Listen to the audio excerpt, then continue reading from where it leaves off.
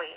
Um, Kelly did not have me call. However, I just listened to Eminem in her car. It is the most disgusting thing I have ever heard in my entire life, and I seriously want to call his fucking agent and tell them how fucking disgusting he is. It like makes me upset. I'm now nauseous and I can't eat lunch. Goodbye.